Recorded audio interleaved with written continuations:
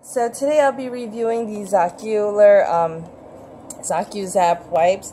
Um, I love these facial towelettes. Uh, they have a nice um, proprietary formula that doesn't contain salicylic acid, which I've found in the past that I get really bad um, reactions to. So I was happy to see that it doesn't contain that um, particular ingredient. Um, these are safe to use around the eyes, and they don't um, cause dryness or irritation. I have super sensitive skin, as I've said many times. I've tried them, and I haven't had any issues with it. Um, I I like that each wipe or towelette is um, individually wrapped, so I can just keep a couple of these in my purse, or you know, take them with me when I'm um, traveling.